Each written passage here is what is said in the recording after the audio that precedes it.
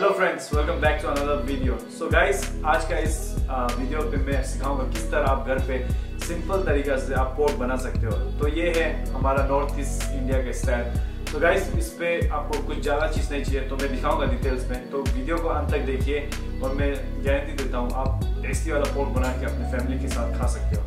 चलिए।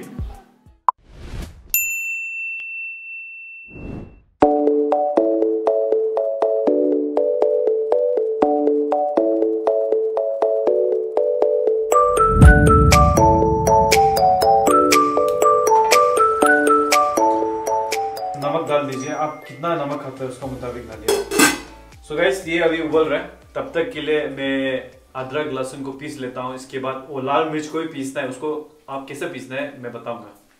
लाल मिर्च दो तरह का होता है। एक देखिए, एक होता है थोड़ा मोटा होता है और एक पतला होता है।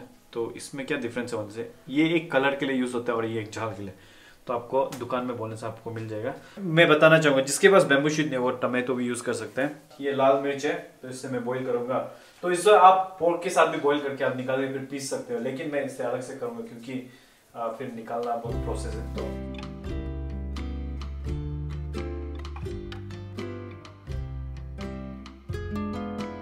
तो पोर्क को अच्छी तरह पकने दीजिए। पोर्क पकना बहुत ही इंपॉर्टेंट है, अच्छी तरह।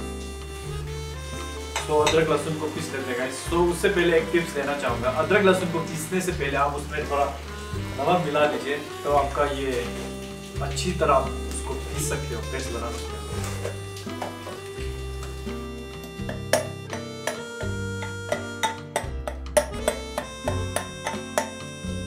तो बैम्बू शूट को छोटा कर लेता हूँ.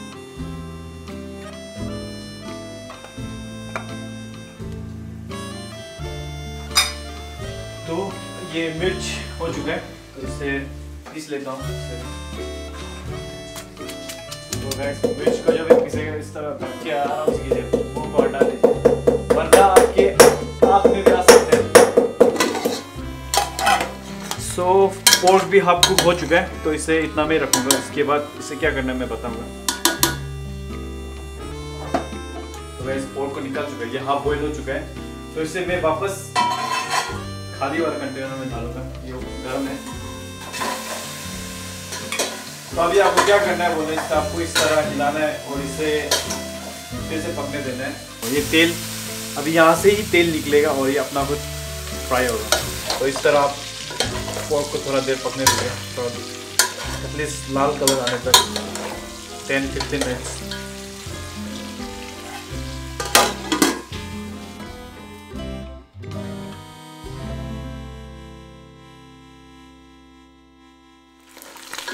तो पहले भी बोल रहा था मैं कि तेल देखिए, तेल इतना निकलते पोर्क का उससे। तो आपको तेल डालने की ज़रूरत नहीं पोर्क पक चुका है ऑलमोस्ट तो इसमें अभी तीन इनकम्प्लीट है।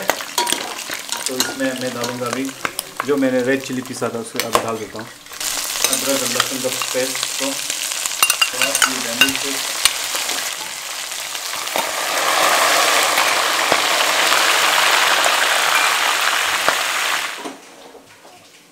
आपको कलर और भी इसका लाल चाहिए तो आप इसमें कश्मीरी मिर्च भी डाल सकते हो।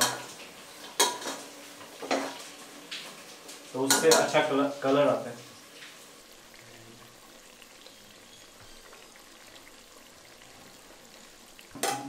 हाँ। तो ये हो चुका है, पक चुका है ये पोर्क का। तो अभी दिखाता हूँ कैसे दिखता है पकने के बाद।